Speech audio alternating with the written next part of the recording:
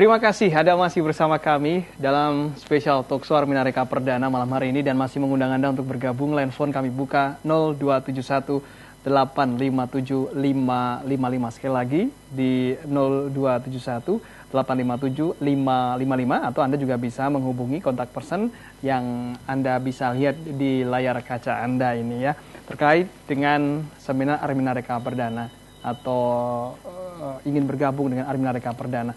Ya, seperti yang sudah kami sampaikan sebelumnya bahwa ada hak yang didapatkan ketika seseorang ya bergabung dan menjadi jamaah Armina Reka Perdana ini. Untuk itu Pak Suhardi akan menjelaskan hak-hak apa saja yang dimiliki oleh jamaah Armina Reka Perdana. Silakan. Ya. Terima kasih. Assalamualaikum warahmatullahi wabarakatuh. Salam keluarga. Formesa TATP juga saudara-saudaraku eh, di Solo Raya. Tentunya setelah ada tiga sistem pembayaran tadi yang sudah dijelaskan sama ibunya, uh mhm. -huh. yang mana tadi ada DP umroh tiga setengah, kemudian DP haji plus itu 5 juta. Oke. Okay. Tadi belum disampaikan. Oke, okay, karena tidak hanya umroh iya, ya, tapi juga haji, haji plus, plus ya, iya. ya. Uh -huh. nah, setelah uh, membayar itu nanti ada lima hak yang diterima. Uh mhm. -huh. Yang pertama adalah starter kit yang seperti ini, ya, yang berisi nanti e, banyak sekali ada lima hak kita, uh -huh. ada buku untuk petunjuk Armina Reka dari Starkit ini. Nah, okay. ini, ya, ini. Kemudian juga e, yang kedua ada mukena, ya. Ini dari yang ibu-ibu bisa menerima ini. Kemudian yang bapak juga bisa ini mendapatkan uh, untuk bisa dipakai setiap saat pada waktu sholat atau ke mana hmm. saja hmm. di masjid jamaah barangkali nanti bisa menarik untuk siar ya ada menarik perdananya iya ada menarik perdananya ya. oke itu itu itu menjadi souvenir ya souvenir ya oh, souvenir kemudian bergabung ya. iya kartu perlindungan asuransi hmm. ya ini seperti ini kartu perlindungan asuransi hmm. kemudian juga ada uh, untuk namanya uh, ini uh, hak usaha ya hak usaha. Untuk asuransi ini usianya lima tahun, kemudian maksimal 65 tahun, hmm. minimal lima tahun, okay. maksimal 65 tahun. Hmm. Kalau meninggal biasa, ini dari PT Amerika ini memberikan e, santunan, meninggal biasa itu adalah 7 juta. Okay. Sedangkan yang karena kecelakaan ini 50 juta.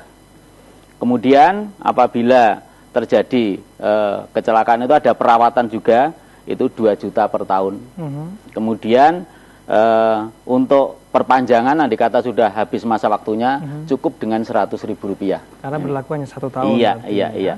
Okay. Kemudian voucher ini adalah kalau e, umroh itu dapat 350 US dollar. -huh. Ini adalah nanti untuk mengurangi biaya umrohnya. Kemudian kalau haji plus ini adalah e, nilainya adalah 500 hmm. US dollar itu. Hmm. Kemudian kalau sudah itu didapatkan semuanya ada voucher ini ini bisa di apa ini istilahnya diwariskan e, kepada siapa saja.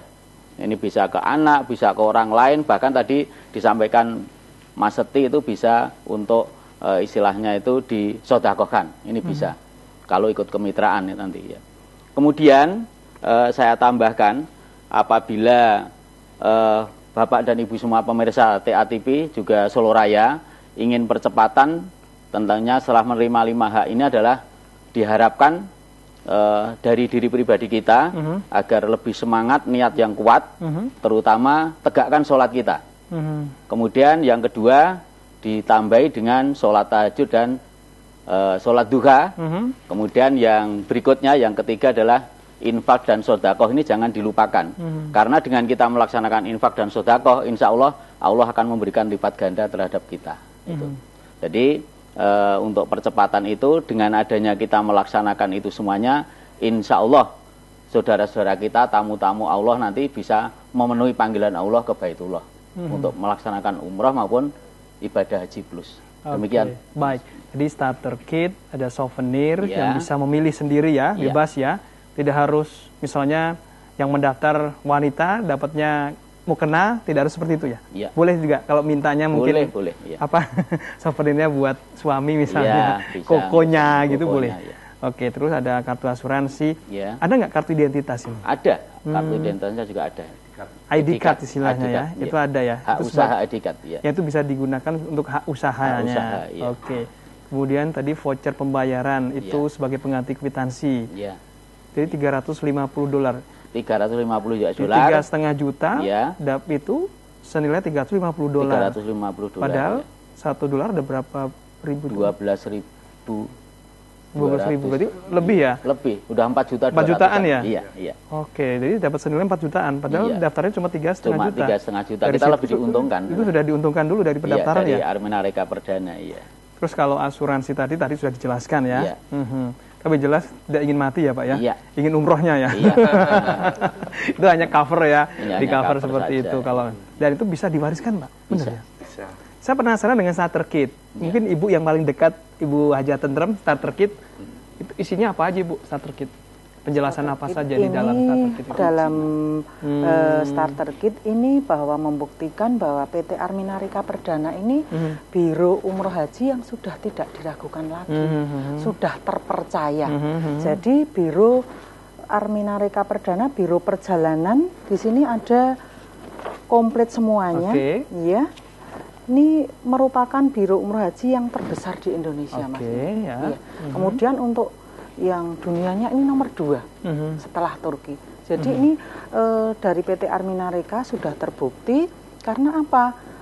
PT Arminareka Perdana ini tiap bulan itu ada kuota mm-hmm. 5.000 mm-hmm. sehingga yang menentukan adalah jamaah karena berapapun jamaah itu bisa diberangkatkan mm-hmm. dan tidak ada istilah sampai di Arminareka kok gagal berangkat itu tidak ada. Ya. Pasti berangkat. Ada nggak legalitas dari MUI, Bu? Ada. Hmm. Dari uh, ini sudah kehalalannya. Okay. Itu sudah hmm. karena sudah terdaftar. Hmm. Jadi tiap tiga tahun sekali itu ya. diperbaharui izinnya, izinnya. perizinannya sudah diperbarui, okay. sudah ada uh, legalitas dari hmm. perusahaan dari MUI juga sudah ada okay. Dan itu yang juga membedakan iya, dengan membedakan. biro perjalanan iya, umroh lainnya iya. di sini ya karena iya. legalitasnya iya, sudah sudah ada dan ini menjadi bukti, bukti dan bisa dipercaya seperti bisa ini ya. Iya. Hmm, karena kan ada nih masyarakat yang kadang itu iya. ingin umroh salah biro. Iya. Artinya ternyata tidak seperti yang dijanjikan oleh iya, biro tersebut iya, gitu. Iya, iya. Oke, ada tambahan dari Pak Setiono dari penjelasan tadi Pak Hardi juga Ibu Tentrem. Ya, alhamdulillah ini Mas Ino mungkin saya sedikit menambahkan artinya dalam strategi ini tadi legalitas hmm. itu membuktikan bahwa semua calon jamaah itu diberikan legalitasnya. Hmm, jadi semua tahu dapat ya? Iya, supaya bisa dipertanggungjawabkan. Okay. Dan memang betul Armina Reka Perdana ini setiap hari memberangkatkan, Mas itu minimal itu satu hari itu dua bis mm -hmm. atau 90 jam itu minimal. Mm -hmm. Tuh, bahkan kemarin sebenarnya saya itu kan ikut yang gerakan di tanggal 15 Maret. Iya.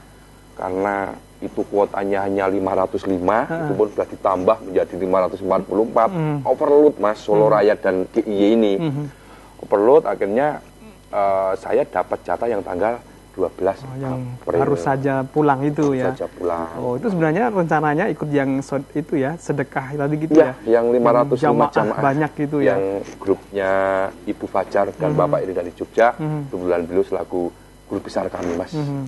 Itu, tapi ya itu tadi karena animo masyarakat sangat luar biasa hmm. karena dengan sesuai tema kami mudahnya umroh tadi itu, hmm. itu ya sangat mudah kok gitu loh Mas. Hmm.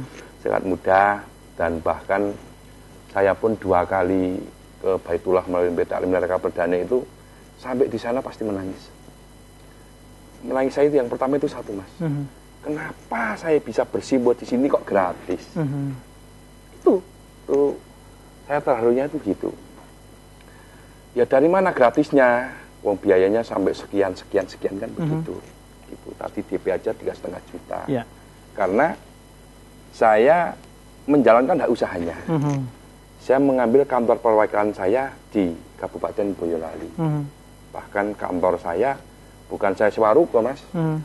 saya di rumah saya di kampung, Hmm. jadi masih 15 km dari ibu kota kabupaten. Hmm.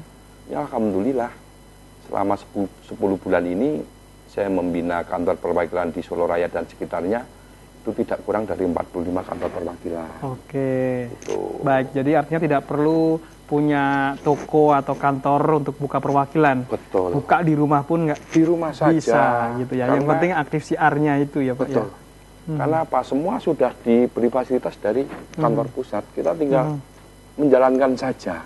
Tidak perlu ke Pak RT, Pak Bupati nyuwun rekomendasi atau minta perizinan. Karena kan udah difasilitasi dari kantor Aminarika Perdana. Oke. Gitu. Baik. Ya, Mitra Tia TV, saya yakin Anda semakin penasaran dan Anda bisa juga untuk mendapatkan penjelasan yang lebih gamblang nanti di seminar Arminareka Perdana hari Ahad tanggal 26 April 2015 di Hotel Aziza Jalan Kapten Mulyadi 115 Kota Surakarta atau di sebelah timur Beteng Trade Center ya. Nah, Anda juga bisa menghubungi line phone yang ada di layar kaca yang bisa Anda lihat saat ini ya. Silakan dan kami akan segera kembali masih ada satu segmen terakhir di Special Talk Show Armina Reka Perdana ini. Tetap bersama kami.